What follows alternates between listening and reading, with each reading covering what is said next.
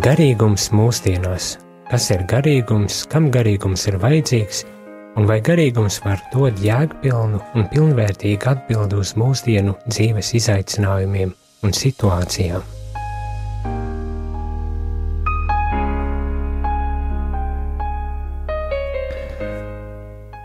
Labvakar, rādījumā arī klausītāji! Esam studijā, ir pulkstenis četri un kārtējo reizi garīgums eh, mūsdienām, raidījums garīgums mūsdienām. Un šodien, kā parasti, turpinam sarunu par mm, dažādām tēmām un uh, īpaši par to tēmu, kurā tika iesākt pirms mm, pāris nedēļām, tas ir uh, jauniešu un viņu attiecības ar baznīcu, kā, ko jaunieši gribētu sagaidīt no baznīcas, vai tie būtu kādi jautājumi, vai kā gribētu redzēt, kāda ir baznīca un uh, un uz kuru virzienu, kurā pusē baznīcai būtu jāiet un jāstājas un, un tā tālāk. Un parasti man ir līdzās kāds uh, sarunu biedrs vai uh, biedre, un arī šajā reizē man ir līdzīgi uh, šoreiz īpaši, uh, īpaši cilvēks, jo uh, līdzās kopā ar mani šeit studijā sēž Baiba. Sveicināti! Čau! es saku īpaši tikai tādēļ, ka viņa ir mana māsa, un es nospriedu uzaicināšu sarunu, jo arī ir jauna, jaunāka par mani, un līdz ar to ja, pieņem, ka ir iekrīt vēl jauniešu kategorijā, ja tā varētu, jaunu cilvēku tādā ziņā kategorijā, un nospriedu iespējams drusku citādāks dzīves ceļš vai, vai kā teikt, dzīves veids, un pieļauju, ka varētu būt arī interesanti painteresēties un parunāties par šādu uh, tēmu, ko uh, baiba sagaida no uh, baznīcas mūsdienu tādās situācijās un vajadzībās, varbūt tās arī no tāda personiskā uh, viedokļa. Bet ik viens klausītājs arī ir aicināts ņemt dalību šajā uh, raidījumā, šajā tēmā, spriežot par šo tēmu un varbūt tās dalīties vai uzdodot ar kādus jautājumus, un to ir iespējams izdarīt, sūtot īsiņas uz telefonu numuru 266 77 272. Atkārtošu vēlreiz telefonu numuru, tas ir 266 77 272. Īsiņas par tēmu, ko jaunieši sagaida no baznīcas, vai jebkāda veida tāda interpretācija par šo tēmu. Uzreiz man liekas, arī jāpiezīmē ir rādījuma arī klausītājiem, šī raidījuma klausītājiem, kad um, droši vien pamanījāt, kad ir, ir reizes, kad jūs varat atsūtīt īziņas un uzdot kādu jautājumu vai kādu komentāru um, nodot, um, lai varētu dalīties un, un ņemt dalību šajā diskusijā par tēmu, un ir reizes, ka nē, tas ir tikai tādēļ vien, ka dažreiz uh, raidījums nav patiesībā dzīvajā, bet ir ierakstīts, jo dažādi iemesli dēļ vai uh, uzaicinātie viesi nevar konkrētajā laikā vai kādu citu iemeslu dēļ ir, ir, nu tā, sakārtojas tās lietas, bet pamatu pamatos ir tomēr uh, dzīvajā. Tā.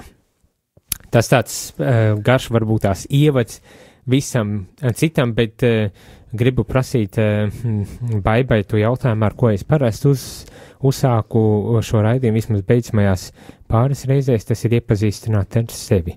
Kāpēc es to prasu? Jo es pieļauju, ka daudzi tā domā, ah, Jēzus Priesteris Jānis tātad nāk no ļoti katoliskas ģimenes, ja viņam ir māsa, tad, tad jābūt arī drausmīgi katoliskai māsai un, un tā, bet tā nebūtu nav tikai tādēļ, ka nenākam no katoliskas ģimenes ļoti regulāras, nekristītas uh, latviešu uh, ģimenes, bet lai par to vai pastāst patī. Uh, nu, ko, ko gribētu, lai raidījumā klausītāji dzirdētu un lai tā, kad runāsim, pāriesim pie tēmas, ko no baznīcas sagaida, lai būtu tas konteksts, no kā tad uh, tu runā šajā gadījumā. Pastāst vienmēr sakot par sevi. nu, sveicināti klausītāji rādio. Um, Es personīgi varu īsumā pastāstīt par sevi, ka es esmu šobrīd studēju bakalaura programmu Rīgas Tradiņu universitātē kā māsa. Un, kā medmāsa, jā. Jā, kā medmāsa un novirziens anestēzijas intensīvās un neatlikamās palīdzības. Kā arī tikko es sāku strādāt, nu tas būtu par manu um, darba gaitām un studijām, pa ģimenes stāvoklī šobrīd gatavojos laulībām. Ceri... Priecīgs notikums, kas būs februārī. Jā, un, un, un tad par manu pirmo ģimeni, kas ir mēs esam diezgan liela ģimene, trīs māsas kopā un seši, uh, trīs brāļi. seši, br seši brāļi negluži, ne? trīs brāļi un divas māsas, nu, ieskaitot sevi. Jā, nu lūk, un tā kā brālis, tēvs Jēzus Jānis teica, nenākam no kristīgas ģimenes, bet cik es sevi atceros, jā, um, tad. Um, principā mana, um, kā saka, varbūt divu meklējumu neapzināti jau sākās ļoti agrā bērnībā. Uh, tas bija um, tre, otrā vai trešā klasīte, mana klasbiedrene uzaicināja uz svētdienas skolu. Tas bija Lutrāņu baznīcā. Nu, lūk, un tur mēs, man liekas, abi divi pat gājām. Jā, jā, jā, es te uzaicināju. ah, jā? jā. To neatceros. Man liekas. Nu, lūk, bet tā iešanas svētdienas skolā bija tāda, ka mēs no pilsētas dzīvojām kādus septiņus kilometrus, un tur negāja e, sabiedriskais transports, kā jau svētdienā tik bieži, un citreiz nācās iet ar kājām e, atpakaļ mājās pāris kilometrus un stopēt mašīnas, bet, nu jā. Nu jā, un tad mēs ar eh, brāli sākām to garīgo ceļu tur. Tad tur bija visādi citādi me meklējumi, tad uz citām draudzēm. Beigās mēs nokļuvām katoļu baznīcā, kur arī nokristījāmies. Un tas notika jūrmalā jau. Jūrmalā, jā. Sākām saldū. Jā, tur tā Lutrāņa baznīca bija, un, un, un, bet um, es tā domāju, ka mm, es esmu tā kā diezgan to nu, to ceļu meklējis, varbūt neapzināti, un beigās man tas apzinātais ir nonācis pie tā, ka es esmu katoļu baznīcā, un es domāju, ka es tā baigi īpaši neko negribētu mainīt, jo es jūtos komfortabli. Uh, un, un, un bet, ar... bet kāpēc komfortabli jūties? Uh, nu, varbūt tāpēc, ka iepriekšējā pieredze bija tāda, ka tur Lutāņu baznīca, tad tur bija Jehovas liecinieki, un, un varbūt tāpēc, kad um, tiku pieņemta un, un, un saprasta, uh, un, un varbūt kādas intereses varēja attīstīt um, baznīcā, jo ko es gribu pateikt par to, ko jaunietis gaida no baznīcas, jā, tā kā man tā pieredze diezgan liela. Uh, es... Cik, cik liela, vienmēr saku, jo to tēmu mēs tulītās pēc pārtraukumā arī sāksim, ne, bet eh, vispirms tā par sevi, nu, cik liela tad ir tā pieredze, nu, ja ir liela? Nu, ja skait no otras uh, klasītes, tad, uh, nu, cik sanāk, 20, 20 gadi varbūt, nē, nu, nu 20. Aptuveni, ap 20 jā, jā, gadi. Jā, bišķiņ vairāk varbūt tās. Bet, tad, nu jā, Bet par to pieredzi runāsim tad vēlāk, cik saprotu. Mēs runāsim, jā, drusītiņi vēl, vēlāk, bet, bet arī vēl, vēl drusītiņi varbūt tās par sevi. Tad šobrīd uh, studē uh, mācinības vai medicīnu vai kā lai pasaka, ne, un, un, un stradiņu slimnīcā par anestezioloģijas māsu. Anestēzijas māsa strādāja vis, vispārējā anestēzijas nodaļā. Tas ir tikai tikko sāku, un, un, un liels stress un tā, bet, nu, es domāju, ka es arī, ja būs interesi, var pastāstīt, kā es kļuvu pa māsu. Tas, eh, bet varbūt tās tieši tagad tāda ātra var Jā. īsumā pastāstīt. Nu, jo. Pirmkārt, eh, man pirmā izglītība saistīta ar pedagoģiju, bet to es gāju studēt tā kā vairāk eh, hobiju pēc, bet te pašā laikā paralēli strādāju laboratorijā. Nu, un tad visādi tie dzīves ceļi. Uh, sanāca, un tad vienā mirklī es izdomāju, nu, ka es jūtu, ka es gribu būt medmāsa. Tas laikam saistībā ar to laboratorijas darbu, un tad es domāju, nu, kā es varētu studēt, jo bija tas vecums, kad pašai jāpelna un jāuztur sev, un, lūk, tad sagrozījās viss tā, kad kad es varēju iet studēt un tā kā strādāt, un beigās sanāk tā, ka visus tos trīs gadus man nauda nāca un varēju mācīties. Protams, vasarās braucu uz Lielbritāniju piepelnīties, lai Latvijā varētu bez strādāšanas studēt koledžā. Un, un arī pēc tam, pēc tās koledžas traumatoloģijā, uh, traumatoloģijas slimnīcā uh, Jā. pastrādāja kādu brītiņu un tad aizbraucu uz Angliju, lai piepelnītu kā lielākā daļa laikam uh, cilvēku. Lai atgrieztos atpakaļ un turpinātu studijas. Nu, nu tieši tā. Ļoti labi. Tad, tas nozīmē, ka uh, īsi priekšstats es pieļauju, kad ir iegūts uh, par, par baibu un, un ar ko nodarbojas un, un, un kāds tas dzīvesveids varbūt tās ir, nu, tā pa lielam. Uh, bet kā jau tik ļoti gribīgi gribēja iet un uzreiz sākt runāt par to, kad ko tad sagaidu no baznīcas, tad varbūt tās pirms es uzsākam šo tēmu un tālāk ar attīstam, uh, aiziesim nelielā muzikālā uh, pauzītē.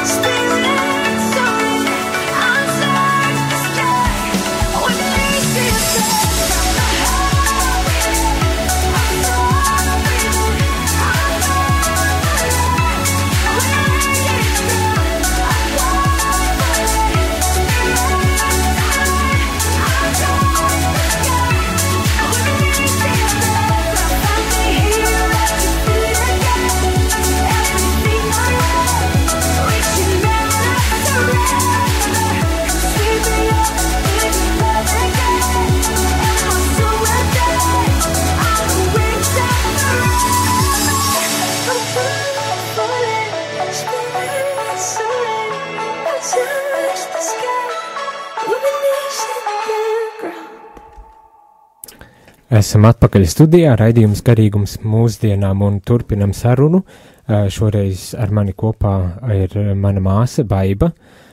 Pirms pauzītes iepazināmies ar viņu un viņa pastāstīja nu, nedaudz par sevi, par savu dzīves gājumu un, un ar ko nodarbojas. Un, nu, kad nodarbojas šobrīd studēja mākslinības un strādā Stradiņu universitātē. Uh, Stradiņu slimnīcā universitātē. Viss viens stradiņi, stradiņi vien varēja. Bet tā galvenā lieta ir, protams, uh, kāpēc aicināju un kāpēc iepriekš aicināju cilvēks, jaunus cilvēkus uz studiju bija tajā sakarā, kad Romā uh, pāvests sasaudzes bija vesela sinodi, tādu lielu konferenci, kur no visas pasaules sabrauca bīskapi, nu, tāda, tāda priekšnieki, lai spriestu par kādiem jautājumiem, un šoreiz šī konference bija veltīta, lai runātu par jauniešiem un, un droši vien kā jauniešus ieinteresēt, nu, kā, kā viņiem dod iespēju uh, izmantot uh, baznīcu vai, vai, vai, nu, vispār jauniešiem un attiecības ar jauniešiem. Un, un tāpēc es aicināju cilvēkus, jaunus cilvēkus, un ar šoreiz baidu un gribu prasīt, kā jau baidu pirms pašā pārtraukuma sāka, ko viņa, ko viņa gribētu sa saredzēt baznīcā vai no baznīcas, vai, vai kā, nu tā ļoti vispārīgs jautājums, principā ļoti brīvi. Kas tas tāds ir? Kas varbūt tās pat eh, var tā, eh, prieš, nu kas tev ir baznīca, un prieš kam tev viņa vajadzīga vispirmām kārtām, bet tad arī attīstot to tālāk, ko tu gribētu redzēt, ka baznīca dara, vai kāda viņa ir, vai ar ko viņa nodara, nu, tāda veida jautājumi. Nu, es teikšu, sākšu ar to, ka um, um, baznīca, kas man ir, nu, tas bija laikam 95. gads, kad uh, mēs nokļuvām, es un brālis nokļuvām katoļu baznīcā. Tur priesteris aicināja uz svētdienu skolu, tad mēs ar tur sākām to svētdienu skolu. Nu jā, un tad pirms um, pārtra, pirms pauzītes es jau teicu, kad um, Um, tas bija um, 95. gads, un um, Pilnīgi apjuki, Jā, tagad es- 95. gadu. nu, jā, bet, uh, š, nu jā, tad uh, mēs nokristījāmies, un, uh, nu, jā, es tagad atceros, ko es gribēju stāstīt, mazā amnēzija, kad, um, ko es sagaidu no baznīcas, un, un, un es varu pastāstīt par to, jo tad man bija laikam kādi 11 gadi, kad uh, es augu, un um, man gribējās kādu vietu, kur es tā kā jūtos piederīga, un varbūt tās ģimene nebija tā vieta, eh, kur es eh, saņēmu to garīgumu. Eh, Nu, kā ir dažādas ģimenes, kristīgas, nekristīgas, ar nekristīgā ģimenē var saņemt garīgumu, arī kristīgā ģimenē var saņemt garīgumu. Bet, nu, lūk, un tad es laikam tiecos meklēt, un uh, tad uh, baznīcā es piedalījos korī, uh, dziedāju, un, un, un tad tas nozīmē, ka jaunietis meklē, kur justies piederīgam, un iespējams, kur viņš varētu izpausties, ja viņš nevar izpausties skolā, vai viņš nevar izpausties ģimenē. Tad ir Jā. tā piederības um, tāda sajūta, uh, ko, ko baznīca piedāvāja tajā savā laikā. Nu, tas ir tā, ka uh, tas vecums uh, 11, 15 gadi, tas ir tāds kā piederība meklē iespējams. Un tad jau vēlāk, kad nāk tie 20 gadi, pēc 20 gadiem, tad jau mainās uh, tavas intereses un vēlmes, uh, ko Mm. tu sagaidi no baznīcas. Bet, nu, es gribu teikt to, ka, uh, protams, baznīcā ir ļoti daudzas iespējas, kur jauniešiem piedalīties, bet dažreiz ir tā, ka ir tādi jaunieši, kas varbūt ir jāpamudina, viņš vēlās, bet viņam ir bail un eh, varbūt kautrējās un dažādas tur rakstura īpašības, eh, kas, nu, kā, ai, nu, traucē viņam atvērties, un, bet baznīcai būtu jāpadomā, kā, piemēram, piesaistīt tos jauniešus, kam varbūt tās nav tādi talanti kā dziedāšana, spēlēšana, māksla vai kaut kas tam līdzīgs. Bet, nu, es domāju, ka ir daudz iespējas. Bet, Noteikti arī ir. bet uh, pati tagad, kā, kā tu esi iesaistīta, vai esi iesaistīta, vai tev vajadzība ir vispār būt kaut kā uh, iesaistītai baznīcai, vai tā piedarība baznīcai ir, ir tik būtiska šobrīd? Nu, es domāju, ka jā, jo tas ir tāds, eh, es esmu savu, sevi izaudzinājis, izaudzinājusi baznīcā, un varbūt tās bija kāds dzīves eh, posms, kad es varbūt tās tik ļoti nebiju aktīva, bet es jūtu, ka tagad eh, iespējams kļūstu un kļūšu vēl aktīvāka, jo, kā teikt, jāsaka, nu, es esmu izaugusi baznīcā, un mani principi tā kā balstās uz to, Un es tā kā varbūt tās jūtos kā komfortabli, kā es teicu iepriekš. Tā. Tad i- izau- izaugus baznīcā diezgan briesmīgi izklausās. nu, Eh, nu, nav briesmīgi, vienkārši varbūt tās ir tās vērtības, uz ko es savu dzīvi balstu. Tas tā kā stabilitāte, ja?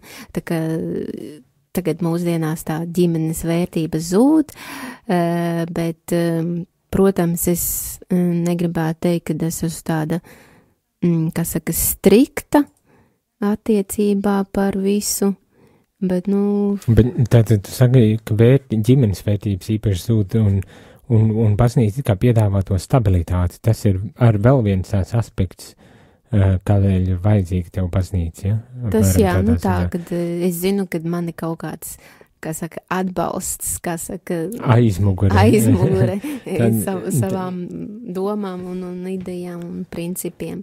Bet, nu jā, tas Kaut kas, ko iekšā var balstīties, iekšā var Jā, balstīties. nu tieši tā, kur- balstīties, kur uh, pameklēt, Bet, ja ne- kaut kas uh, nepieciešams. Kaut Bet kādā veidā tu tagad esi iesaistīts baznīcā? Nu, Es tagad- brālis būtam, bet īstenībā arī nezinu. Nu, šobrīd baigi es neesmu iesaistīta. Vienīgais tas ir svētdienas apmeklējums, un, un, un šajā momentā rādījām arī apmeklējums. Un, un, un mēs jau arī netik bieži tiekamies, principā, viena no retajām reizēm, un tā sanāk šie, tieši šeit uh, Marija uh, studijā, lai runātu par tādu, man liekas, diezgan būtisku tēmu un svarīgu tēmu.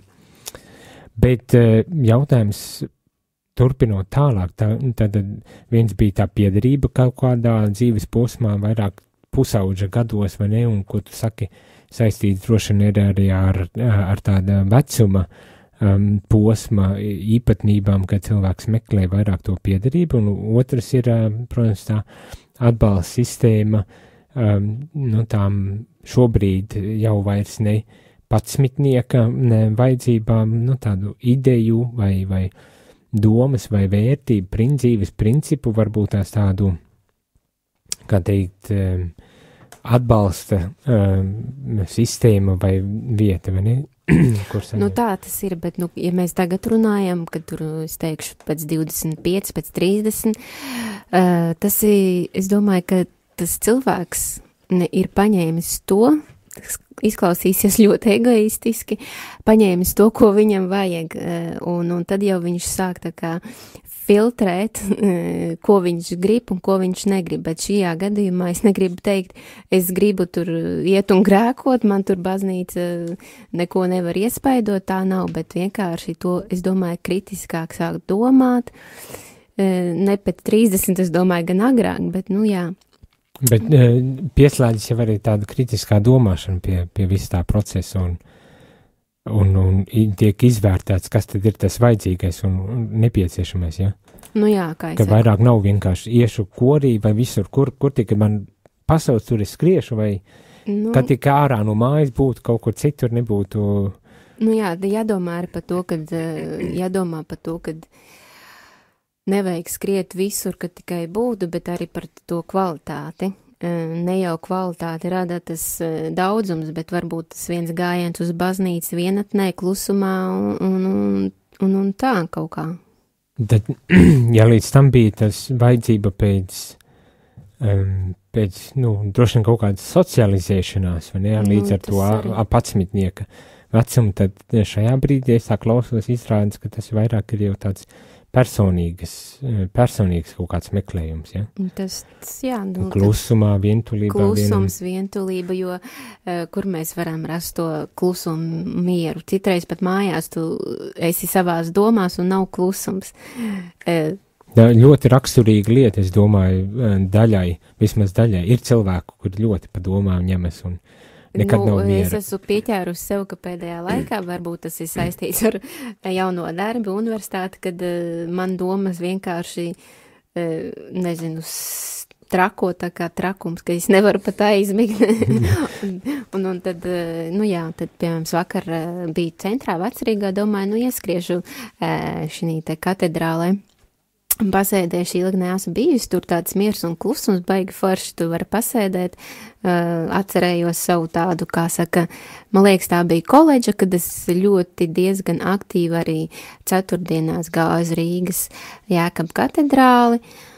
Nu jā, bija nu, tā forši, jā, kaut kā. Nē, jaunības gads, bet mazliet izklausās tā. Jaunības Nu. gads atceros. Nu jā, tā mazliet jaunība. mazliet, bet tā tad labs ir.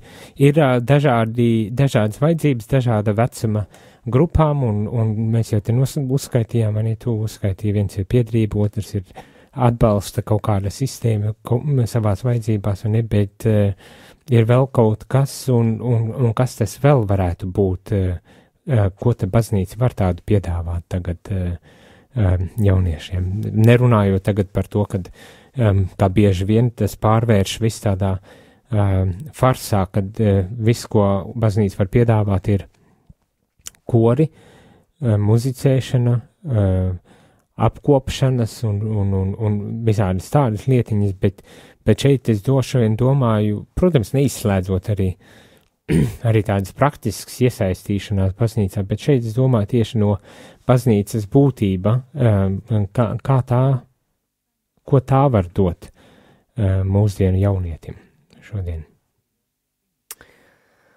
Mūsdienu jaunietim. Tā liek pamatīgi domāt, vai ne par šo Mhm. jautājumu? Nu, es domāju, ka um, iespēju sevi iepazīt no citas puses, Kādā veidā tas notiek? nu, tā pat nekristieti, ja, vajadzētu, nu kā, nu man tāds dzīves mm, piemērs ir. mm, Mans topošais vīrs, mēs ejam pirmslaulības kursos, un kā arī paralēli viņam notiek katehēze, jo viņš gatavojās konvertēties uz katoļu ticību. Ja viņš ir piekritis, eh, tas būs mums eh, vieglāk salauzties, lai nebūtu tur problēmas. Un, un, ja viņš ir piekritis, tas ir forši. Un es domāju, ka e, viņam ir atvērta sirds.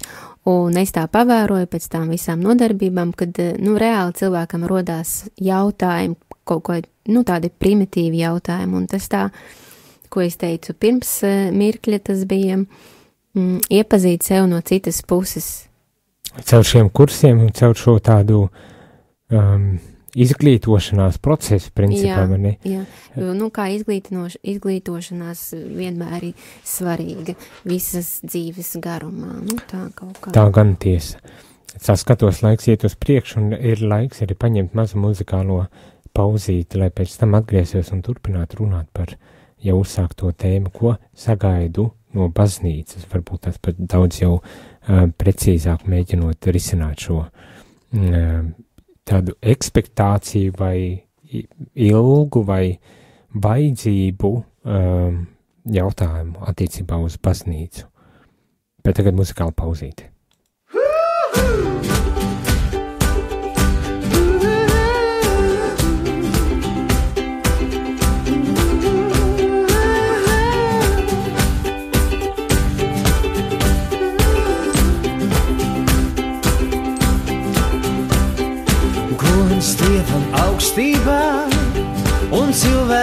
Labs prāts.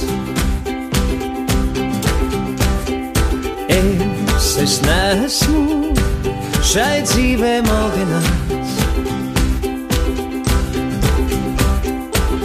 bet pats es esmu bijis nomaldījis, jo savas gribas vien man ceļš bija vies.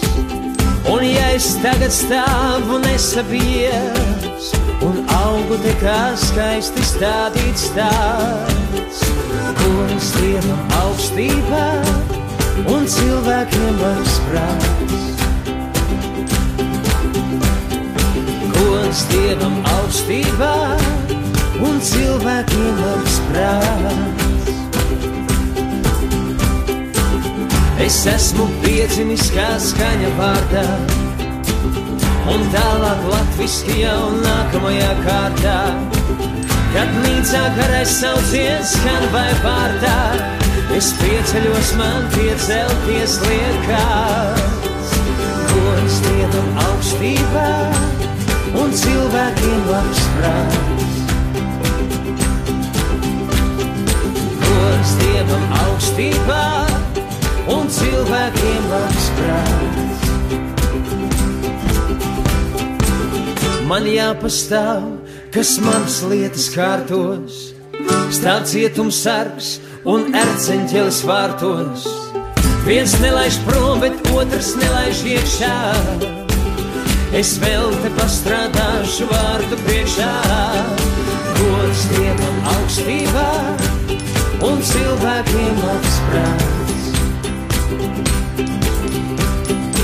Gods Dievam augstībā un cilvēkiem labs prāts.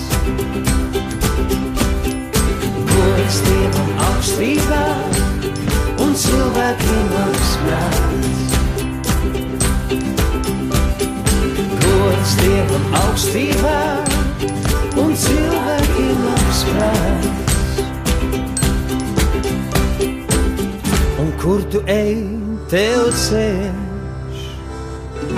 kur tu ej, tev ceļš ir gaismas klāts. Labvakar, rādījumā arī klausītāji, esam atpakaļ studijā raidījums karīgums mūsdienām un turpinam sarunu ar eh, manu māsu Baibu par to, ko jauni cilvēki sagaida eh, no baznīcas. Un, un, un varbūt tās, ja, ja vēlreiz uzsādīšu, jau pirms, jau pirms pauzes mēģinājām runāt par to, un, un dažādas man šķiet labas domas eh, parādījās. eh, Ne? Pieļauju, ka ir cilvēki, kas varētu savā ziņā apstrīdēt vai teikt, nu jā, bet to piederības sajūtu var rast arī citādos veidos, dodoties uz, uz koriem, uz deju pulciņiem un dažādām citādām vietām un lietām, nodarbošanām. Un, un tā, vai, vai arī atkal to atbalstu, tādu savu domu, vērtību un principu atbalstu sistēmu atkal var meklēt. Taču visur, kur citur nav obligāti jābūt taču baznīca, un es pieļauju, ka ir tādi cilvēki, kas arī tā varētu spriest un, un, un, un, un domāt, un kāpēc ne, protams, pieļauju, ka baznīca nav vienīgā vieta, kur uh, meklēt šīs tādas vajadzības, kas varbūt tās tādas ļoti dabiskas un, un, un ikvienam cilvēkam uh, vajadzīgas lietas, kad var meklēt vairāk un plašāk un nav tikai uz baznīcu, vai ne, bet tu saki, tu atradi tieši, tieši baznīcā.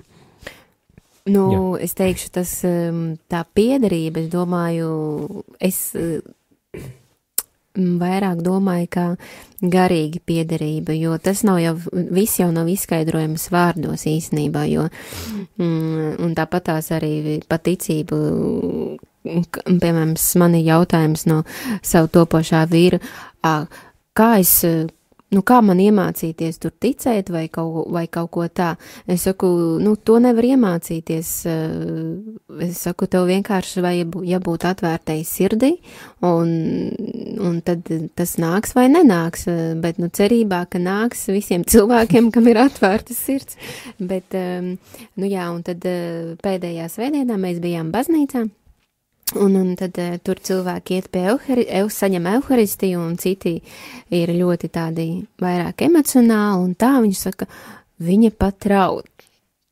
Es saku, nu redz, cilvēki saņem Jēzus miesu, uh, un tā viņš saka, nu to es sapratīšu tikai pēc pāris gadiem.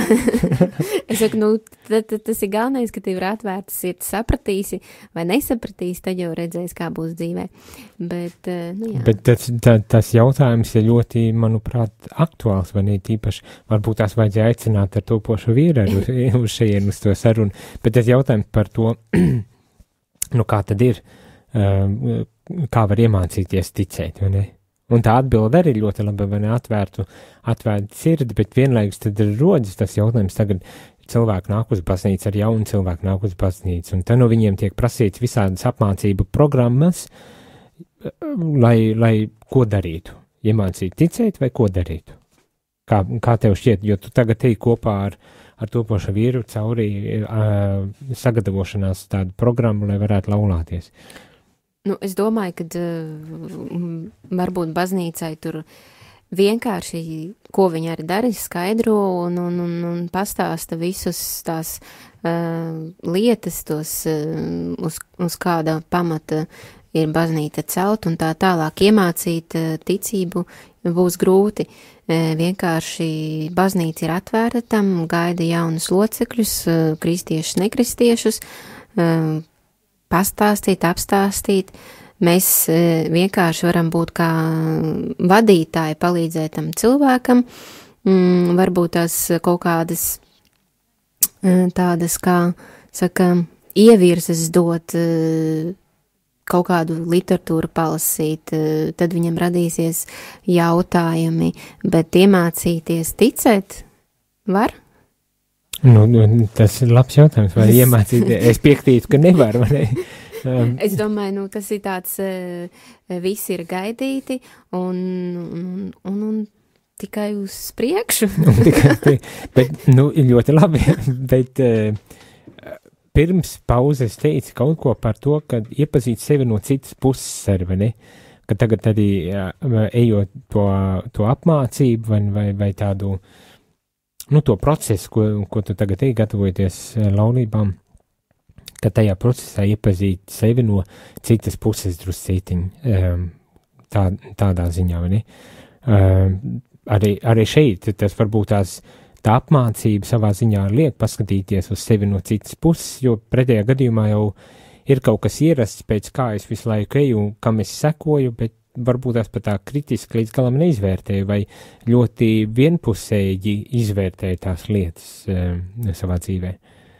Mm, Viss tā, tie dzīves principi vai vērtības, pēc kuriem mēs dzīvojam. Nu, tāpēc arī, kā saka, mm, ir eh, daudz iespējas mūsdienās, eh, kur, kur meklēt, baznīca pa, pastāstīs savu versiju, savu viedokli, un es domāju, ka eh, tur ieslēgsies cilvēkam kritiskā domāšana, un tad viņš arī vērtēs citas iespējas, kur sevi iepazīt. Tas arī kaut kādi, varbūt eh, mūsdienās paliek ļoti populāri mm, psiholoģijas kursi un vai kaut kādas citādākas apmācības. Um, bet, nu jā, baznīca ir tā, kur tu varbūt tās vari garīgi sevi iepazīt. Ko nozīmē garīgi iepazīt? Nu, to, kad um, pabūt s- klusumā ar sevi, koncentrēt savas domas un, un, un iepazīt. Bet, bet to nevar darīt pie psihologa.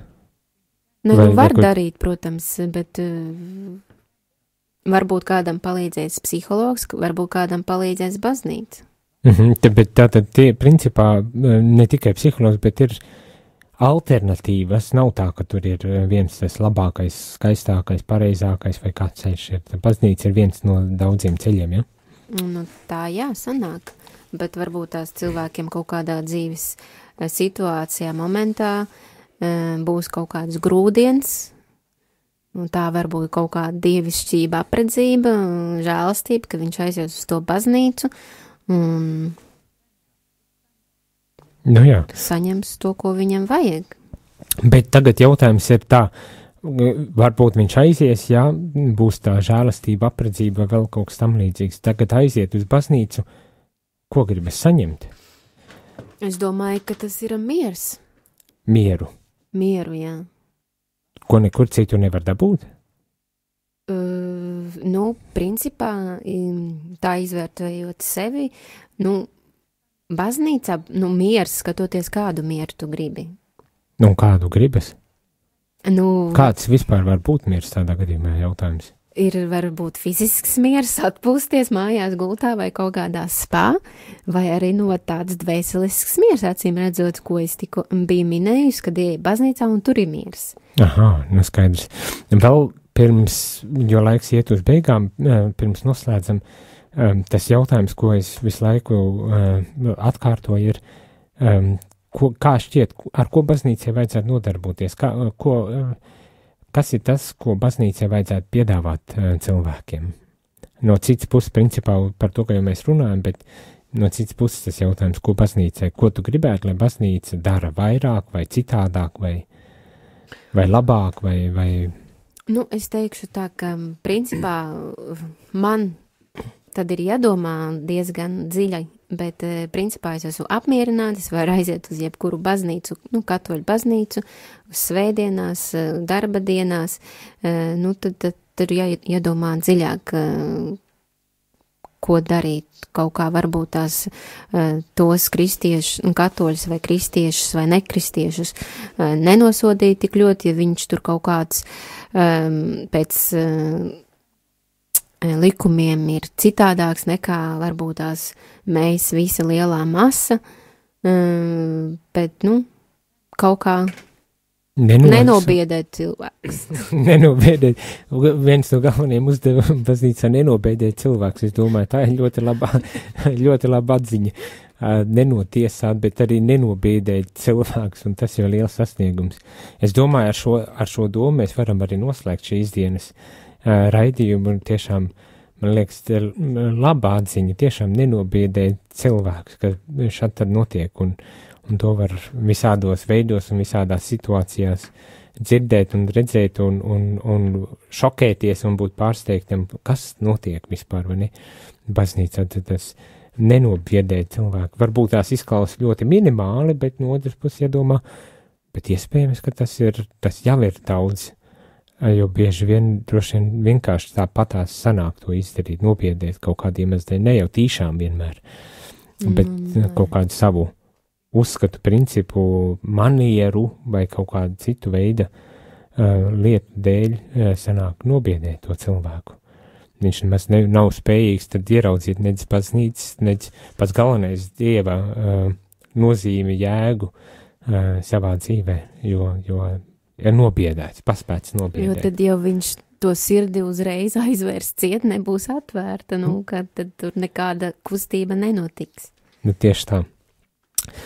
Sirsnīgs paldies, Baibai, par to, ka uh, uz, uzņēmās atnākt pie manis šeit uz studiju, lai parunātu par šo uh, tēmu. Sirsnīgs paldies arī rādījuma arī klausītājiem, uh, kad bijāt kopā ar mani šajā uh, pēcpusdienā, šajā vakarā, piekdienas vakarā, nozīmīgā piekdienas vakarā, jo mēs jau pavisam, pavisam tuvu esam Latvijas simtsgades uh, kulminācijai, tas ir 18 novembrim, un ceru, ka šī nedēļas nogale arī būs tāda, kas tiešām iedvesmo un, un paceļ dvēseli domāt ne tikai par, eh, par kaut kādām um, zemes lietām, ja tā var uh, teikt, bet arī par tādām dvēseliskām lietām, uh, kas iespējams ir būtiski arī šeit uh, pārkāpjot simtgadus slieksni, novēlēšu visiem skaistu, mierīgu, un, un, un, un tādu svētīgu šo nedēļas nogalu un nenobīties eh, no,